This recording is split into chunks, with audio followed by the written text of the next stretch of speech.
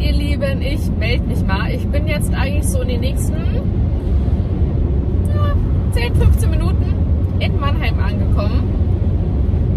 Bin ja auf dem Weg zum Friseur. Ähm, ja, ansonsten ist heute Morgen noch nicht viel passiert. Wir sind echt aus dem Bett. Wir haben in Ruhe gefrühstückt zusammen und dann haben wir so lange in Ruhe zusammen gefrühstückt, dass ich mich am Schluss wirklich schnell, schnell, schnell fertig gemacht habe, nicht mal geschminkt habe. Äh. Aber ich habe mir eine Mascara mitgenommen, werde ich mir gleich nochmal auftragen. Ähm, ja, und ich hatte gestern Abend nochmal gegoogelt wegen dem Weg und es sind tatsächlich doch nicht anderthalb Stunden, sondern nur eine Stunde neun Minuten. Also vom Weg her nimmt sich das nicht viel wie von Frankfurt, also alles Roger. Aber trotzdem, ich brauche halt mit einem bisschen mehr Verkehr und dann Parkplatzsuche schon so insgesamt, sagen wir mal anderthalb Stunden. Und dann bin ich ja immer so drei, vier Stunden beim Friseur. Ja, und dann nochmal anderthalb Stunden zurück. Also mein Mann ist ein paar Stunden alleine, sagen wir es mal so. Ich möchte danach auch noch mal kurz zu Primark gehen, denn der Primark hier in Mannheim, der ist gestört groß. Also wir in Frankfurt haben wir auch schon dreistöckig, sowohl in einem Center als auch in ähm, der Frankfurter Innenstadt auch wirklich riesig groß und und und. Aber der in Mannheim, der ist nochmal ein Stück krasser irgendwie. Die haben auch, ähm, also teilweise die gleiche Ware, aber die haben auch bis, also ein paar Stücke anders. Also ich weiß nicht, das letzte Mal, als ich ja hier war, da ähm, habe ich ja unsere Handys abgeholt, genau. Ein Freund von uns hat ja hier so einen äh, Shop und wir haben die Handys da eben ein bisschen günstiger bekommen bisschen wirklich nur. Also es war, man hat trotzdem vierstelligen Betrag bezahlt, richtig gestört für ein Handy. Hätte einem das jemand vor zehn Jahren gesagt, hätten wir einfach nur den Kopf geschüttelt. Aber nun gut. Ähm, und da war ich ja hier in Mannheim gewesen und dann wollte ich halt nicht nur wegen den, äh, wegen den Handys hierher fahren, die Strecke. Und dann bin ich halt noch mal ein bisschen da durch die Stadt gelatscht. Und Mannheim ist echt schön, muss ich sagen. Zumindest ist da dieser Bereich, den ich jetzt halt eben kenne. Ich weiß nicht allgemein, wie Mannheim ist, aber dieser Bereich, wo man da einkaufen kann und so, finde ich echt schön. Und da war ich ja das erste Mal dort im Primark unter anderem gewesen. Das hat mich echt so, ich so, wow, richtig genial. Auf jeden Fall habe ich meinem Mann schon gesagt, nach dem Friseur gehe ich da kurz rein, weil das ist noch nicht mal fünf Minuten von meinem Friseur entfernt. Genau. Und dann mache ich mich aber auch wieder auf den Rückweg. Ähm, ja. Also heute beim Friseur habe ich das gleiche vor wie immer. Spitzen schneiden und dann halt eben ähm, ja, Farbe. Ich weiß gar nicht, ich verwechsel immer Balayage und Ombre verwechsel das immer, weil für mich das letzten Endes das Gleiche ist. Also, dass man seine Naturhaare hat und dass dann langsam praktisch die helle Farbe kommt in so einem schönen Verlauf. Also, dass es eben nicht strähnenartig aussieht, sondern halt eben in so einem schönen Verlauf. Ähm, das wird auf jeden Fall wieder gemacht. Und dann abmattiert ganz dringend. Meine Haare haben so einen Gelbstich.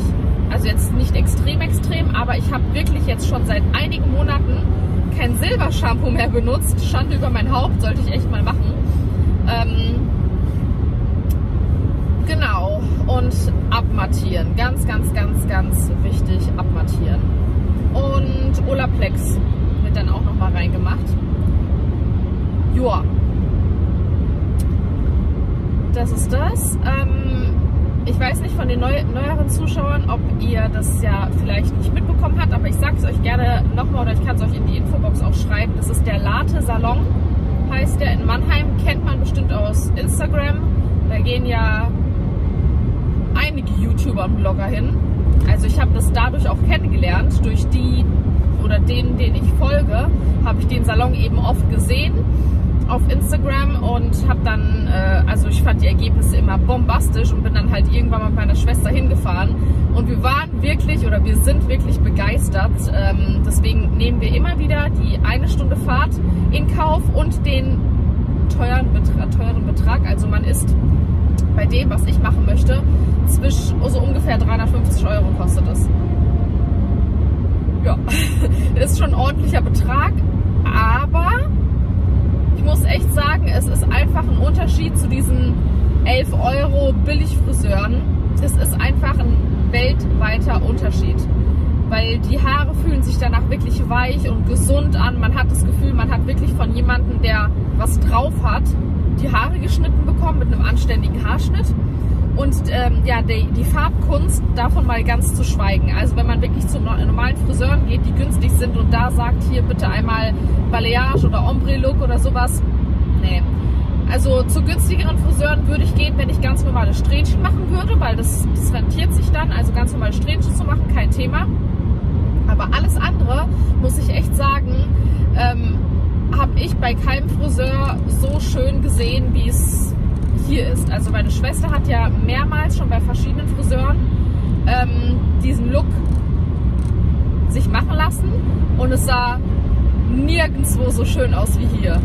Also es sind dann auch immer mal Balken rausgekommen und was weiß ich was. Also hier ist es halt richtig, richtig schön und ähm, deswegen finde ich persönlich, dass sich das lohnt. Und vor allen Dingen, wenn man Strähnchen sich zieht, dann sieht man das ja wirklich, weil die Strähnchen ja zusammen rauswachsen. Dann sieht man immer so ein Stück, wo die Strähnchen rausgewachsen sind und ab dem äh, Zeitpunkt, wo sie dann äh, halt loslegen sozusagen. Und bei diesen anderen äh, Techniken, wenn es äh, praktisch rauswächst, sieht man diesen Übergang halt eben gar nicht. Man kann wirklich mindestens sechs Monate muss man nicht zum Friseur gehen. Also ich war jetzt auch sechs Monate nicht mehr beim Friseur und vom Ansatz her, es sieht einfach so schön aus, weil es einfach so ineinander übergeht. Also ich habe nicht das Gefühl, ich sehe irgendwie ungepflegt oder sowas aus. Klar, Gelbstich und vor allen Dingen halt ähm, Spitzen schneiden, aber ansonsten vom, vom Kopf halt eben oben her hat man halt nicht dieses Rauswachsen-Gefühl wie bei den Strähnchen, dass man sich irgendwie dann so, äh, ja, unwohl fühlt, dass man mal wieder zum Friseur müsste. Also bei dieser Technik kann man locker, muss man sechs Monate locker nichts machen. Vielleicht zwischendurch mal ein bisschen Spitzen schneiden, aber ansonsten aber letzten Endes muss ja jeder für sich selber entscheiden, wie viel Geld man für was ausgibt. Ich weiß nämlich, die letzten Male, wo ich euch das äh, gezeigt habe, was ich gemacht habe, da wurde dann nach Preisen gefragt. Und wenn ich die Preise gesagt habe, dann hat jeder gesagt, was? Bist du verrückt? So viel Geld? Und na, na, na. Aber ja, es ist mir halt tatsächlich, mir ist es das wert. Weil ich sag mir immer, ähm, wo soll man am besten sein Geld reinstecken, wenn nicht in sich selbst. ob das bei Essen ist oder Getränken ist oder ob es für seine eigene Beauty ist. Ähm, ja, bei Klamotten und Taschen und Schuhe haben wir wahrscheinlich alle genug im Schrank, ich zumindest. Und ähm, ja, dann tue ich gerne immer mal was für mich selber. Wie gesagt, egal ob es Essen oder irgendwas ist. Ich bin auch mittlerweile, ich habe früher immer drauf geachtet, ähm, wenn ich zum Beispiel im Restaurant saß oder irgendwie im Supermarkt und eingekauft habe, habe ich schon immer so geguckt, so, boah, das kostet jetzt so und so viel, nee, komm, das letzte, das kaufst du jetzt nicht ein. Ich muss sagen, da bin ich ja so gar nicht mehr der Typ für. Also klar, ich gucke auch mal, wenn was gerade zum Beispiel im Angebot ist, was ich gerne esse, was normalerweise teurer ist, dann nehme ich es immer gleich auf Vorrat mit. Das mache ich schon. Aber mittlerweile, wenn ich auf irgendetwas Lust habe, dann kaufe ich es einfach. Es ist mir völlig egal, wie viel es kostet. Ähm, weil ich spare dann lieber und, äh, an irgendeiner anderen Stelle. Also ich kaufe mir lieber äh, ein Oberteil weniger, aber äh, geier da nicht rum, weil zum Beispiel Obst, Früchte sind ja zum Beispiel relativ teuer. Gerade so Beerenfrüchte sind wirklich mega teuer, gerade im Winter. Logisch. Ähm, aber gut, dann kosten sie halt 2, 3 Euro. Was soll's? Warum soll ich daran sparen und geiern? Äh, das ist zwar teuer, aber äh, wie gesagt, ich spare da lieber dann an irgendeiner anderen Ecke. Und das ist das, was ich meine mit, ich investiere lieber in mich selber als in andere äh, Sachen. Dann spare ich an einer anderen Stelle. Und da gehört für mich auch Beauty mit dazu. Nicht nur Food und Lifestyle für mich selber, ähm, sondern ja, auch sowas wie Friseur oder irgendwelche Beauty-Produkte oder Schminke oder weiß der Geier was. Einfach Sachen, wo ich mich mit wohler fühle sozusagen. Ja. Ich habe ja schon gesagt, ich möchte jetzt wieder mal nach der Schwangerschaft starten, ein paar Sachen zu machen, äh, die ich halt eben die ganze Zeit nicht gemacht habe, nicht machen konnte, verschieben wollte. Und unter anderem gehörte da eigentlich mit dazu, dass ich meine Tattoos weiterhin entferne. Da hatte ich eigentlich auch einen festen Termin und zwar gestern. Der wurde mir allerdings abgesagt. Also ich war ja immer bei Tattoo los gewesen. Da habe ich euch ja ein paar Mal mitgenommen. Ihr habt es ja schon gesehen. Ähm, die letzten Male war ich ja kurz vor der Schwangerschaft da gewesen. Und die haben mich jetzt wirklich, ähm, ich weiß gar nicht wann das war, am Samstag oder am Freitag angerufen, dass sie mir den Termin für gestern, halt für Montag abgesagt haben. Ähm, weil die eine Kollegin krank ist und die andere Kollegin, also die eine, die mich angerufen hat, war halt alleine eben im Laden gewesen und, und sie hat halt eben nur die Termine gemacht, die jetzt schon seit Wochen sozusagen eingetragen waren, weil die Ende Januar schließen. Scheiße. Ich habe auch gar nicht gefragt jetzt wieso, weshalb, warum, weil ähm, es war immer mega schwer, dort einen Termin zu bekommen. Man musste wirklich im Wochen, also Wochen voraus äh, sich Termine machen lassen, äh, geben lassen. Deswegen, dass es schlecht gelaufen ist, glaube ich noch nicht mal. Vielleicht ist es an den Mitarbeiterinnen, dass da eine weggegangen ist oder dass sie jetzt unterbesetzt sind oder ich weiß es ehrlich gesagt nicht, warum die schließen. Aber Fakt ist, dass sie schließen und der nächste Salon von denen ist irgendwo am A der Welt. Also wirklich, ich glaube, drei Stunden oder sowas entfernt. Das nehme ich, also das ich wirklich nicht in Kauf. Wenn es jetzt eine Stunde wäre, anderthalb, hätte ich es gemacht, weil ich da wirklich zufrieden war mit äh, dem Salon oder mit dem Studio. Kein Salon, ein Studio. Aber ähm, jetzt noch nicht mal genau geschaut. Sie hatte nur zu mir gesagt, dass der nächste ähm, Laden wirklich weit, weit weg ist, einige Stunden. Kann eben nicht mehr in dieses Studio gehen. Richtig scheiße. Sorry, meine Wortwahl, aber es ist wirklich blöd, weil das Ding ist, das ist halt eine Laserbehandlung. Das, de, deine Haut wird ja verbrannt äh, an der Oberfläche und Laser schießen in dich rein und was weiß ich was. Also das ist ja schon äh, eine Sache, da muss man wirklich einen Laden finden, dem man vertraut, wo man sich wohlfühlt und und und, ähm, wo alles passt. Das ist halt, das ist auch natürlich voll preisintensiv. Also ich habe ja jetzt mehrere Tattoos immer weglasern lassen und da legt man halt auch einige hundert Euro auf den Tisch. Ähm, ja. und deswegen wenn es dann irgendwie blöd gemacht ist oder man am Ende einen Narben hat oder äh, nicht das Resultat, was man hofft und so weiter und so fort, dann ist es natürlich, das ist eine Katastrophe, anders kann ich es nicht sagen. Also für jeden Bereich. Und deswegen muss ich mich jetzt erst einmal schlau machen auf die Suche machen nach einem neuen Studio, wo ich sage, erstens, was weiß ich, dass es eben nicht zu weit weg ist, dass ich sehe, okay, die haben gewisse Erfahrungen, ähm, ja, dass es nicht so 0815 Salon ist und äh, was weiß ich, dann auch vielleicht einer, der nicht übertrieben überteuert ist. Ist ja immer so eine Sache. Also wie gesagt, ich habe schon sehr, sehr, sehr viel Geld dort gezahlt, aber es geht ja immer, wie wir wissen, es geht immer noch teurer. ähm, ja,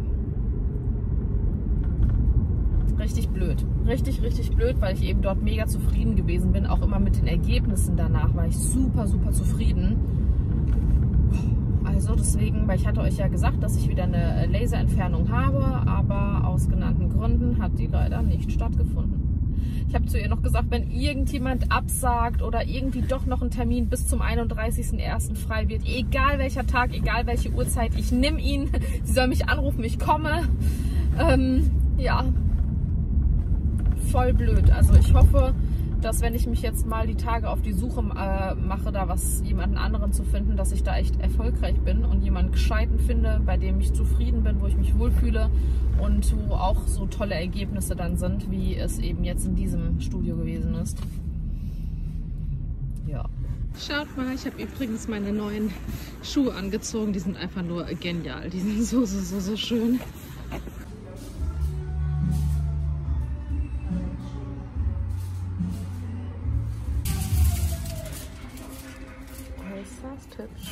Die Farbe ist jetzt drauf, wird gerade ein. Und dann wird ähm, abmattiert und geschnitten und. Ja. So, ich chille hier am Waschbecken. Äh, keine Ahnung, wie lange, schon eine Stunde oder sowas. Ähm, wir haben ja erstmal die Farbe drauf gemacht. Die ist ein, hat so 20, 25 Minuten wirkt die ein. Genau, dann haben wir die ausgespült und haben ähm, Olaplex reingemacht. Olaplex, für die, die es nicht kennen, das ist nochmal so ein extra ah, wie kann man es erklären? Es ist wie so eine Haarkur, die so ultimativ ist, also die die Haare richtig krass repariert und überhaupt, also könnt ihr euch mal durchlesen, das ist ein bisschen kompliziert zu erklären. Genau, das wirkt dann auch nochmal ein und währenddessen das eingewirkt hat, hat sie meine Haare ausgekämmt, weil ähm, das Ganze wird ja immer so antopiert und ähm, ja, es ist eine richtige Auskämm-Aktion, die auch echt schmerzhaft ist. Aber ähm, das tut man nicht alles, um schön auszusehen. ja, nachdem sie mich ausgekämmt hat und Olaplex eingewirkt ist, wurde das wiederum ausgespielt und dann wurde eine Abmattierung drauf gemacht für ein paar Minuten. Das wurde jetzt dann auch wieder ausgespielt und jetzt habe ich noch eine Haarmaske drin für auch wieder 20 Minuten und dann müssten wir fertig sein. Und dann wird schnipp, schnapp, Haare ab, aber nur die Spitzen.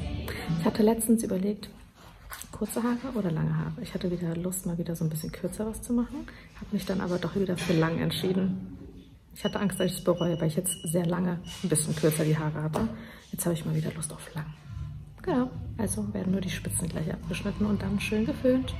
So, jetzt kann ich auch kurz mal filmen, weil gerade keiner da ist. Ähm, der Latesalon ist nämlich nach unten gezogen. Hier war ja immer dieser Shop mit den Klamotten. Der ist jetzt weg. Und oben ist tatsächlich nur noch so, also die waren ja früher oben, da musste man hier die Treppe immer hoch. Und da ist jetzt eigentlich, aber wie gesagt, nur noch ein bisschen was zum Fotos und so weiter machen. Ansonsten ist der Salon jetzt hier unten. Genau. So, ich bin jetzt fertig und bin extra hochgegangen, damit ich hier ein paar Fotos machen kann vor diesen wunderschönen Engelsflügen. Ich finde die so, so schön. Das ist übrigens das Endergebnis. Ich bin sehr, sehr, sehr begeistert. Wie immer super, super zufrieden. Ich habe mir so ein paar Locken reinmachen lassen. Ja, und die Spitzen sind auf jeden Fall ab. Ich habe hier auch das Ganze hier vorne so ein Stück ungefähr abgeschnitten. Das ist sehr, sehr, sehr rausgewachsen gewesen hier vorne. Ja, ich bin zufrieden. Ich liebe es. Endlich wieder Fresh Hair. So, ich gehe mir jetzt mal was zum Mampfen holen. Ich habe nämlich ziemlich Hunger. Und dann kurz zu Primark, wie gesagt, und dann ab nach Hause zu meinen Männern. So, ich habe mir hier oben gerade mal so einen Zopf gemacht, damit die mir nicht in den, im Weg sind. Ich habe mir nämlich hier so eine China-Box geholt. Ich bin jetzt hier in so einem Center. Ähm, es ist zu Ende, sind einfach nur so China-Nudeln, mehr nicht. Weil ich ein bisschen was im Magen habe, weil wir haben mittlerweile schon 3 Uhr. Und dann gehe ich hier gleich runter in den Primarkt, dann wieder ab ins Auto und ab nach Hause. Genau. Wenn ich wieder zu Hause bin, ähm, kann ich euch die Sachen, die ich in Primark gefunden habe, zeigen, wenn ich was finde, wo ich von ausgehe. es sei denn, es ist viel zu viel, dann mache ich vielleicht einen separaten Haul. Mal sehen. So, ich bin fertig. Ich bin im Eiltempo wirklich durch Primark durch. Ich habe noch eine Kleinigkeit erledigt und jetzt ab nach Hause. Ich habe übrigens zwei volle Tüten. Das bedeutet, es gibt ein extra Haul, beziehungsweise vielleicht zeige ich es einfach in dem nächsten Vlog dann. Keine Ahnung, ich mache auf jeden Fall ein eigenes Video daraus, weil das ist zu viel. Ich habe einiges gefunden. So, jetzt geht's ab zurück nach Frankfurt. Ich bin langsam ein bisschen müde, kaputt vom Laufen, vom schnellen Laufen. Und ich würde sagen, ich melde mich später oder morgen wieder bei euch.